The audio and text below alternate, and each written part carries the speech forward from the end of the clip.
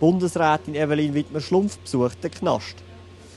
Die Insassin ist schon seit acht Jahren im Argshof. Sie erklärt der Bundesrätin ihre Arbeit in der internen Schreinerei.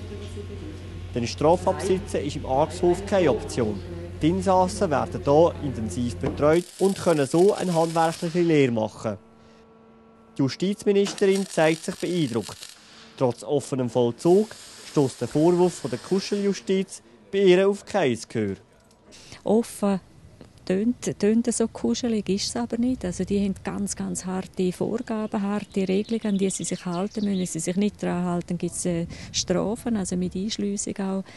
Aber sie, sie lernen Eigenverantwortung für sich selber übernehmen sie lernen mit sich selber auch klarzukommen, äh, was eine Grundvoraussetzung ist, dass sie nachher auch der, im Leben wieder klarkommen, in der Gesellschaft klarkommen. Und von daher ist es sicher wichtig, solche Institutionen wieder Argshof zu haben.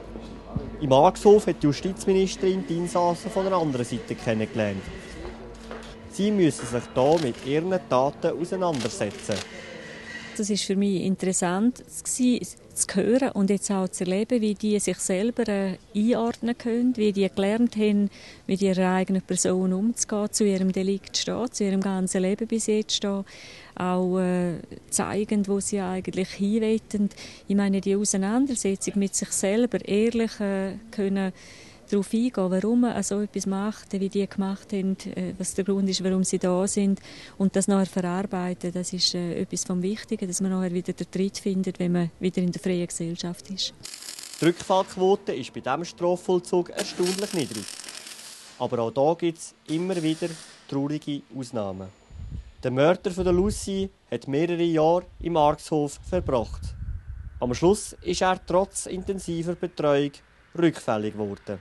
Man muss sehen, es gibt auch Grenzen von psychotherapeutischer Behandlung. Es gibt so heftige Schäden, dass man muss sagen, am Schluss man kann sie nur noch verwahren und, äh, äh und so eigentlich eine Sicherheit angeben für die Gesellschaft. Und das ist jetzt so ein Fall, wo man muss sagen, dort äh, sind wir auch nicht mehr weitergekommen. Das System vom Argshof wird trotzdem weitergeführt. Viele Insassen haben hier eine zweite Chance bekommen, die sie auch nutzen wollen.